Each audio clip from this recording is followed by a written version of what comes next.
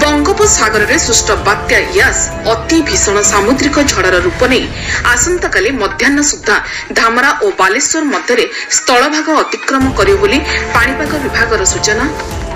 ବାତ୍ୟାକୁ ଦୃଷ୍ଟିରେ ରଖି ପ୍ରଭାବିତ ହେବାକୁ ଥିବା ଜିଲ୍ଲାଗୁଡ଼ିକରୁ ଲୋକମାନଙ୍କୁ ଆଜି ସନ୍ଧ୍ୟା ସୁଦ୍ଧା ସୁରକ୍ଷିତ ସ୍ଥାନକୁ ସ୍ଥାନାନ୍ତର କରିବା ପ୍ରକ୍ରିୟା ଶେଷ ହେବ କହିଲେ ସ୍ୱତନ୍ତ୍ର ରିଲିଫ୍ କମିଶନର ୟାସ୍ ଲାଗି ଛଅଟି ଜିଲ୍ଲାରେ ଆଜିଠାରୁ ଆସନ୍ତା ଗୁରୁବାର ପର୍ଯ୍ୟନ୍ତ କରୋନା ଟିକାକରଣ ଓ ସର୍ଭେ କାର୍ଯ୍ୟ ବନ୍ଦ ରହିବ।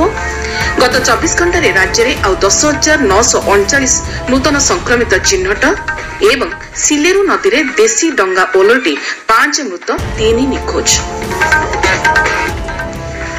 ଏଥର ସମ୍ପୂର୍ଣ୍ଣ ସମ୍ବାଦ।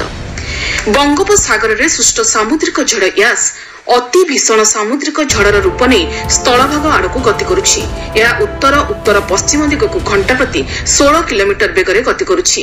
ଏହା ପାରାଦୀପଠାରୁ ଦକ୍ଷିଣ ଦକ୍ଷିଣ ପୂର୍ବକୁ ଦୁଇଶହ ଅଶୀ କିଲୋମିଟର ଦୂରରେ ଏବଂ ବାଲେଶ୍ୱରଠାରୁ ଦକ୍ଷିଣ ଦକ୍ଷିଣ ପୂର୍ବକୁ ତିନିଶହ ଅଶୀ କିଲୋମିଟର ଦୂରରେ ରହିଛି। ଆସନ୍ତା ବାର ଘଣ୍ଟା ମଧ୍ୟରେ ଏହା ଘନୀଭୂତ ହୋଇ ଅତି ଭୀଷଣ ବାତ୍ୟାର ରୂପ ନେବାର ସମ୍ଭାବନା ରହିଛି। ଆସନ୍ତାକାଲି ମଧ୍ୟାହ୍ନ ସୁଦ୍ଧା ଏହା ଧାମରା ଓ ବାଲେଶ୍ୱର ମଧ୍ୟରେ ସ୍ଥଳଭାଗ ଅତିକ୍ରମ କରିବ ବୋଲି ଭାରତୀୟ ପାଣିପାଗ ବିଭାଗ ମହାନିର୍ଦ୍ଦେଶକ ମୃତ୍ୟୁଞ୍ଜୟ ମହାପାତ୍ର ସୂଚନା ଦେଇଛନ୍ତି। ବାତ୍ୟା ପ୍ରଭାବରେ ଧାମରା ଓ ଚାନ୍ଦବାଲି ଅଧିକ କ୍ଷତିଗ୍ରସ୍ତ ହେବ ବୋଲି ଶ୍ରୀ ମହାପାତ୍ର କହିଛନ୍ତି। ଆସନ୍ତାକାଲି ସକାଳଠାରୁ ବାତ୍ୟାର ପ୍ରଭାବ ଉପକୂଳ ଅଞ୍ଚଳରେ ଅନୁଭୂତ ହେବ। ସ୍ଥଳଭାଗ ଛୁଇଁବାର ପୂର୍ବ ଓ ପର ଛଅ ଘଣ୍ଟା ଅତି ଗୁରୁତ୍ୱପୂର୍ଣ୍ଣ ବୋଲି ସେ କହିଛନ୍ତି। ସ୍ଥଳଭାଗ ଛୁଇଁବା ସମୟରେ ପବନର ବେଗ ଘଣ୍ଟା ପ୍ରତି ଶହେ ପଞ୍ଚାବନରୁ ଶହେ ପଞ୍ଚଷଠି କିଲୋମିଟର ରହିବ। ସ୍ଥଳ ବିଶେଷରେ ସର୍ବାଧିକ ଶହେ ପଞ୍ଚାଅଶୀ କିଲୋମିଟର ବେଗରେ ପବନ ବହିବା ସାଙ୍ଗକୁ ପ୍ରବଳରୁ ଅତି ପ୍ରବଳ ବର୍ଷା ହେବାର ସମ୍ଭାବନା ରହିଛି ବୋଲି ପାଣିପାଗ ବିଭାଗ ପକ୍ଷରୁ ସୂଚନା ଦିଆଯାଇଛି। ବାଲେଶ୍ୱର ଭଦ୍ରକ ଜଗତସିଂହପୁର ଓ କେନ୍ଦ୍ରାପଡ଼ାରେ ବାତ୍ୟାର ପ୍ରଭାବ ଅଧିକ ରହିବ ବୋଲି ଶ୍ରୀ ମହାପାତ୍ର ସୂଚନା ଦେଇଛନ୍ତି।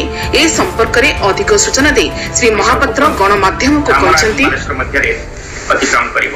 ଯେତେବେଳେ ଏହା ଉପକୂଳ ଅତିକ୍ରମ କରିବ ଏହାର ପ୍ରଭାବରେ ଆଜି ରାତିଠାରୁ ତ ପବନ ବଢ଼ିବ କିନ୍ତୁ ଛବିଶ ତାରିଖ ପ୍ରାତଃକାଳ ଠାରୁ ପବନ ଶହେ ପଞ୍ଚାବନରୁ ଶହେ ପଞ୍ଚଷଠି ଏବଂ କଷ୍ଟିନେସରେ ଶହେ ପଞ୍ଚାଅଶୀ କିଲୋମିଟର ପ୍ରତି ଘଣ୍ଟା ହେବାର ପୂର୍ବାନୁମାନ କରାଯାଉଛି। ଏହି ପବନ ପ୍ରଥମତଃ କେନ୍ଦ୍ରାପଡ଼ା ଭଦ୍ରକ ଏବଂ ଜଗତସିଂହପୁର ଜିଲ୍ଲାରେ ଅଧିକ ହେବ ଏବଂ ତାପରେ ଏହା ବାଲେଶ୍ୱର ଜିଲ୍ଲା ଆଡ଼କୁ ମଧ୍ୟ ଅଧିକ ପବନ କରାଇବ। କେନ୍ଦ୍ରାପଡ଼ା ଜଗତସିଂହପୁର ଏବଂ ଭଦ୍ରକ ଜିଲ୍ଲାରେ ପ୍ରାତଃକାଳ ପାଖରୁ ସବୁଠୁ ଅଧିକ ଯେଉଁ ପବନ ଆମେ ଅନୁମାନ କରୁଛୁ ସେଇଟା ହେବ ଏବଂ ତାହା ମଧ୍ୟାହ୍ନ ପର୍ଯ୍ୟନ୍ତ ଚାଲିବ।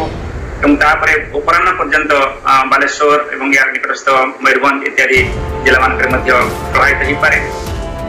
ବାତ୍ୟା ପ୍ରଭାବରେ ଗତକାଲିଠାରୁ ଉପକୂଳ ଅଞ୍ଚଳରେ ବର୍ଷା ଜାରି ରହିଛି।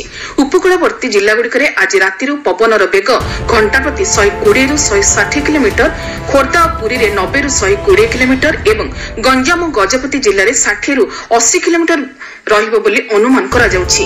ପ୍ରବଳ ପବନ ଯୋଗୁଁ ବଡ଼ ବଡ଼ ଗଛ ଉପୁଡ଼ିଯିବା ସହ କଚ୍ଚା ଘର ଆଜବେଷ୍ଟସ୍ ଛପର ପୁରୁଣା କୋଠା କ୍ଷତିଗ୍ରସ୍ତ ହେବାର ସମ୍ଭାବନା ରହିଛି। ସେହିପରି ଟେଲିଫୋନ ଓ ବିଜୁଳି ଖୁଣ୍ଟ ଆଦି ପ୍ରଭାବିତ ହେବାର ଅନୁମାନ କରାଯାଉଛି। ପରିସ୍ଥିତିକୁ ଦୃଷ୍ଟିରେ ରଖି ପାରାଦୀପ ଓ ଧାମରାରେ ଦଶ ନମ୍ବର ବିପଦ ସଂକେତ ଜାରି କରାଯାଇଛି।